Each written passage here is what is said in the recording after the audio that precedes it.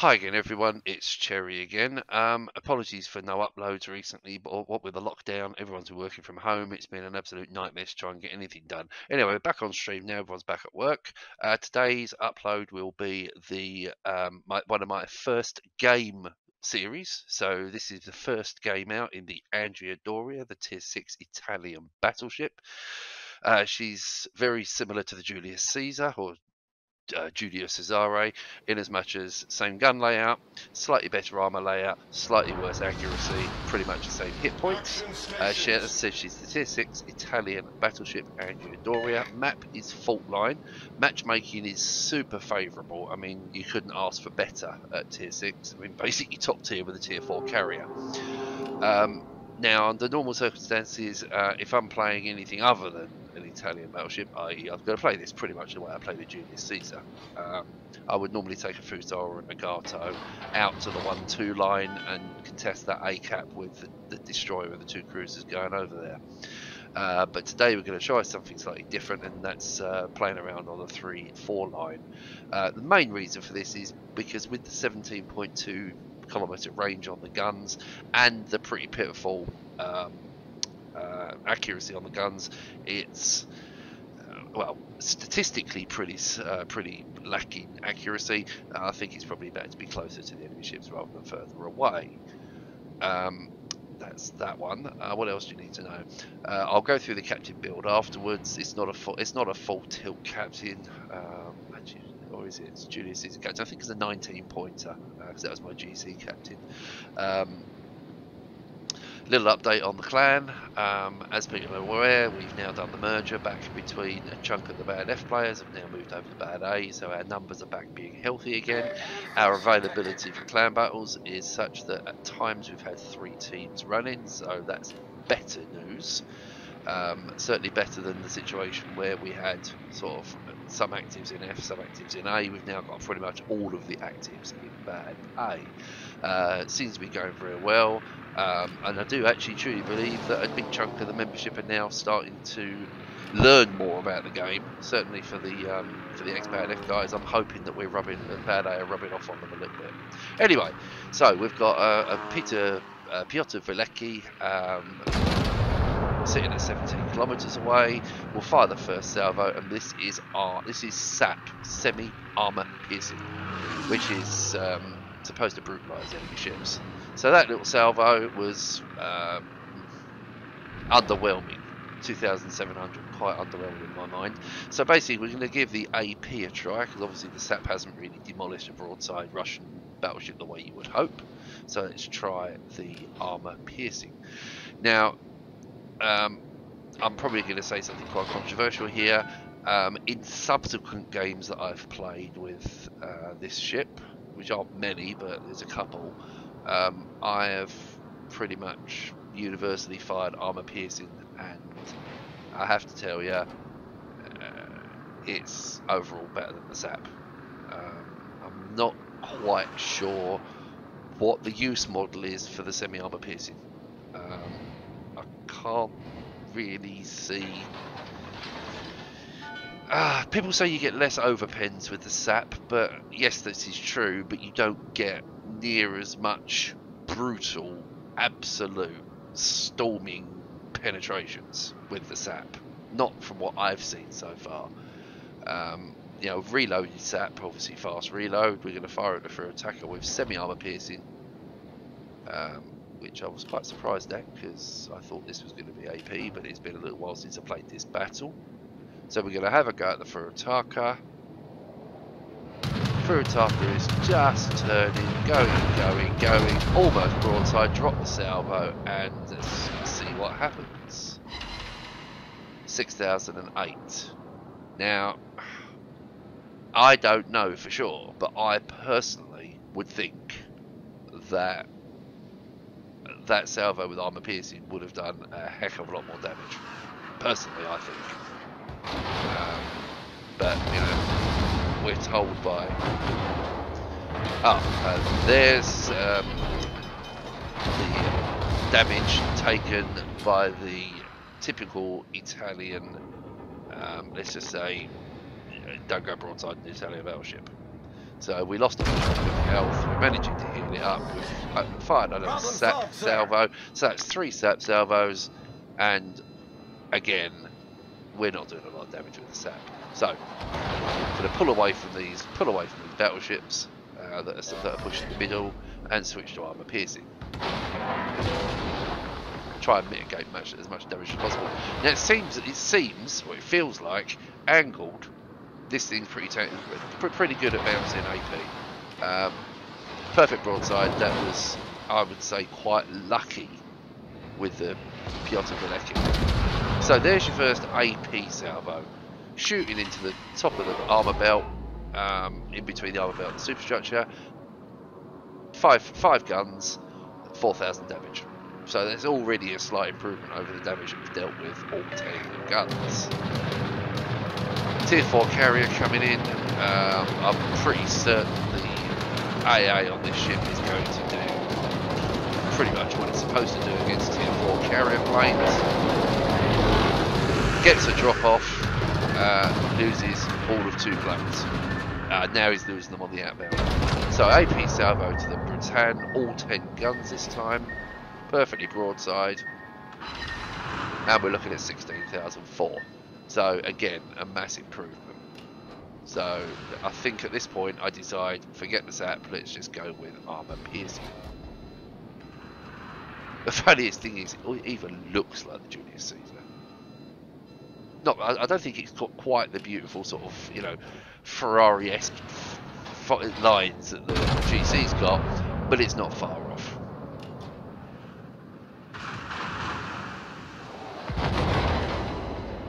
So that's another salvo out on the Bretagne. We're looking at 8k, received 7 in reply. Got, a, got 3 heals to play around with, plenty to heal, so not such a major problem. Uh, we've still got the Legao and the Pyotr Veliky, Vilik, Vilik, Vilicky. I just call him Peter the Great. Makes my life so much simpler. Team has done a hard push towards the A cap. They've taken the A cap. So we've got one, two, three, four, five, six, seven ships at the A cap, and they stalled. There's nothing left ahead of them, and they have completely stalled. Um, this is a thing with. It's just a thing with randoms. I don't understand why they do that. I'm not going to call people that have been stupid or anything. And that's AP on a very slightly angled French cruiser. 16 odd thousand damage and my first kill. Peter, Pete, Pete, Pete, Peter the Balker is coming round. Um, by the looks of it on the mini map, he's pretty much broadside. In fact, he's perfectly broadside, so we can have all 10. We're going to take a hit because he's Russian, and we're going to put 9,600 into him. So a good exchange of hit points there. And it just seems your battleships, the only way you can play them is to, to mitigate incoming damage and try to trade as little of your hit points for theirs as humanly possible. Right, he's going to crash into that down ship, so he's going to have to either reverse or sit bouncing on it, sow a salvo into the superstructure of the Peter. And that finishes off Peter with 3800. So we're at, we're at second kill, we've got two defended ribbons, we've got two kills, we've got 71,000 damage. Now I'm looking at the mini-map and the Bretagne is still pushing, he has he has literally just pushed. Have a good look at, I'll, I'll have a good look at him before I make any decisions, his guns are pointing perfectly away, so this is a free shot basically. I can go full broadside, AP rounds, and just unload on him. Because there's no, there's no way those Bretagne turrets are coming around and that'll put another 10k in, drops him down to 13,000. Nose back in again so that we can uh, start angling against any incoming shells from him. Look at the reload, gets to about 10 seconds. Take another look at the Bretagne, see where his guns are looking. Nope, guns are still looking the other way. Let's get the hull turned around, get the rear turrets on just as the countdown finishes on the reload. All guns on target, another salvo into the Bretagne. Same thing, turning back in instantly. So we're going to turn in, keep the nose pointing at him, keep the angle up. Watch the counter.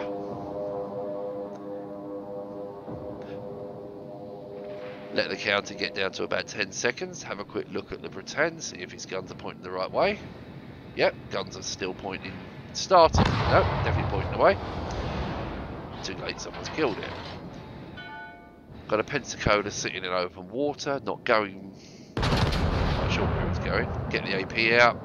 Uh, this is the issue I have with this ship in this game, and that's the uh, lack of accuracy against cruisers. Uh, battleships, perfect. Food for this thing. Uh, cruisers, if they're wiggling or moving towards you or doing anything, that signal really, really hits you quite hard. So you really need cruisers to be behaving and going broadside or sitting stationary, or you need battleships to be sitting broadside or sitting stationary. Shells out on the Pensacola again. As you can see, much, much better. 3880. That's got to be the cheapest Citadel. So that's our third kill and 93,000 damage. We're now facing off against a New York and a Bayern. Carrier, for some reason, has given up. So we're looking at the reload on the guns, we're looking at the New York. The New York's turrets are looking straight at us, so we need to be a little bit circumspect in how we do this. Fire, start turning, hit the brakes, start turning in instantly, wait for those shells to hit. And we're looking at 7003. Now we're getting looking to be in a sandwich between a Bayern and a New York. Nuremberg's going to prove to be really, really annoying here. Um, just constant, constant HE fire there. Um, that's going to not so much cause problems, but just be generally annoying. Also, he's not the most unintelligent of cruiser players because he's very realistic and his direction, which is the best way of defending against these particular guns on this ship. So I'm going to start getting punched by the big guns of the Bayern. Because it does have very good, very big guns. Uh, Nuremberg's decided going backwards is probably the best idea now. We're not going to get salvo off against that, so we need to start concentrating on the two Bayerns and the New York that are now pushing around the outside. So, first salvo out against the Bayerns, still sticking with AP, haven't seen the point in set, get some bounces. Now, I don't actually for a second think that would have made any difference if I'd have fired SAP at that angle. It would have just bounced the same. Uh, maybe if I'd have shot into the superstructure with SAP, might have got a bit more damage. But then saying that, if I'd have shot the AP into the superstructure, would have probably got a bit more damage. So we're hitting the brakes, and we're going to start reversing away from the Bayern. Because obviously we don't want to push out past the island the New, New York and the other Bayern able to fire into us like that. Little 5k salvo on the Bayern, lost his lost one of his turrets temporarily, so that should slow his fire down for at least the next 30 seconds or so. And then the secondaries start to roll in, and it looked like there for a second that he that he'd fired main battery HE because there was a 22-33 from a secondary HE round. So Bayern is going to do what Bayern players do, which is try and get all their turrets on target. So he's going to go to, to give a broadside. Probably fired a little early there. Um, remember, we're now reversing away, just waiting for the hill to come back up. We've got a minute to wait.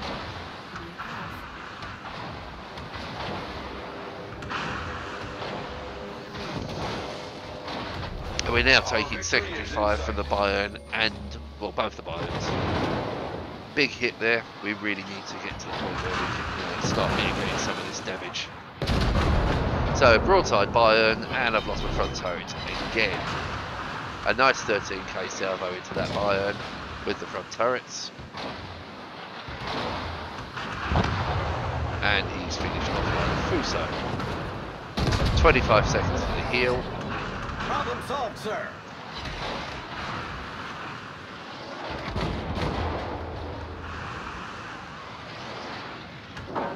Thirteen seconds for the heal. I don't know if I made this not. I can't actually remember much about it. Can't work out. Remember if we actually made the heal or not. Guns are now out of sequence because of the dam. The, with guns are now out of sequence because of the um, turret being knocked out. So we've got all the turrets out of sequence. So we're firing one, one, two. 8002 puts us up to 140,000 damage on our high caliber. Uh, next turret's coming on stream in two seconds. Get that turret out. Next turret's coming up again. Keep popping these turrets out. Keep popping these turrets out. And we'll see if we can get the rears off or not. Five seconds. One second. Two seconds. Right, the last two turrets are out. Puts us on 147, 510 damage. Three kills, two defends, four aircraft shot down because the carrier gave up with it, and a high caliber. Uh, game will end very, very soon. Initial reaction is that it needs to be played fairly aggressively, but you must pick your target so it's one on one. Uh, any more than one on one, and you're going to struggle with that um, with that broadside. Anyway, let's roll back to the port. I'll run through my captain and equipment build if anybody's interested, and then I'll end up with the results screens. So now we have the Andrea Doria in my port. Um, very, very pretty ship she is. Uh, a triple turret and a double turret at the front, a double turret and a triple turret at the rear. So she's a 10 gun with um, 320 mil guns, which I can't work it out. My math is terrible. Um, but you know, decent sized guns. Uh, secondary armament is lacking. Um, basically, you got very little chance of doing any actual damage with these things, other than setting fires. Uh, so she's not a secondary build. Uh, captain I've got is um, my captain from the Trento. Sounds a bit weird, but um, he's actually the captain from my Julius Caesar that I've just moved over. So captain skills as it stands now with Luigi, Luigi, um, gun feeder for the change from AP to HE as it takes only sort of 15 seconds.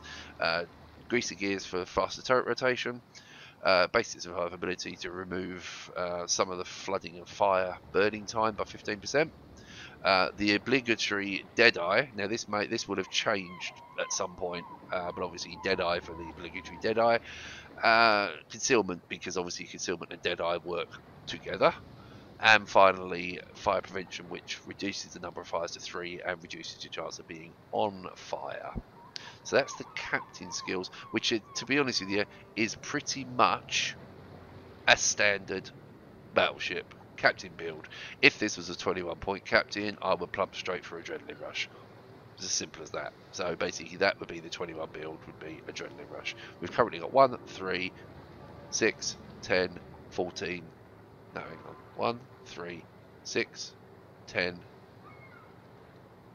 14, 18. So three points left over. If you, if you ever 21 points would be the Adrenaline Rush. Uh, but with the amount of the 1.2 million XP needed to get from 19 to 21, it's probably not going to happen with this particular captain. Uh, equipment wise, pretty basic for a battleship. Uh, first off, uh, auxiliary armaments mod 1 to keep the AA what there is of it, because um, it is pretty good AA, to keep the AA uh, surviving as long as possible. Uh, didn't matter so much in that game, but I think longer term that's the way to go. Uh, second one, damage control system. what else is there to put on there? Your damage control or engine protection. You don't really lose the engine that often, so damage control system just reduce the chance of being on fire, reduce the chance of flooding. Uh, aiming system mod 1 for the extra accuracy. Uh, you do get slightly more range on the secondaries, but don't bother. And finally, uh, damage control system mod 2, which reduces your burn time again. So with the skill and the uh, module, you're looking at 30%. Uh, throw on the flags. So okay, with signals, throw on your flag, and you reduce it by another 20%. So basically, you're reducing the burn time from a minute to 30 seconds. Which you know, if you've got two, you one fire, you can definitely let it burn. Two, yeah, you can let it burn. Three, you got to put it out uh, but at least it means that um, you are burning for a lot less of the time. Other than that, extra heal, sorry, extra hit points on the heal, extra speed, quicker reload on the on the consumables, AA, secondary, and the obligatory commander XP because you know you need extra commander XPs. Uh, flags, CVT flag obviously, and camo. Pick what you like. Um, I was running a Type 5, just a standard one. I mean, I suppose you could. Uh, actually, that one's free. I didn't know there was a permit. Oh no, I hate these camos. Oh god, look at the state of that. I mean, really. No, I think it was the immersion was why I put that on. yes, we probably have got more XP, but really, do you need it? Um, because we're going to get the tier 7 through the mission pack, so you're not going to have to grind it, so what's the point? Um, you know, you've got to ruin the looks for shit by doing that to it. You know, give me a clue, but that or that. I mean, even the paid for permanent camo is nicer. I mean, I suppose something like no, that's no good. Uh, actually, that's quite nice. No, quite like that one. That that's actually quite subtle. Uh, green for Italians. Not sure about that. No. Good God, there's some really nasty camos, isn't there? There are some really nasty camouflages. Actually, one of my favourites is that one. I really do like the For Meritorious Service. I just think it looks. I think ships look so nice in white, and it always harks back to the Great White Fleet for the American Navy. Anyway, that's the ship build. That's the captain build. Um, I won't bore you anymore. Thank you for watching. I uh, hope you enjoyed it. Hope it was informative. Uh, I'll put the end screens for the battle now and wish you a lovely, wonderful, happy day. If you feel like subscribing, then do so. If you like what I do, although there will be more of it in future, but obviously there's been a bit of a break for the last year. Uh, if you like what I do, subscribe. If you like the video, just hit the like button. And if you want to make any comments on what I could have done different or video editing and stuff, let me know in the comments. Take care, be nice to each other, and stay safe.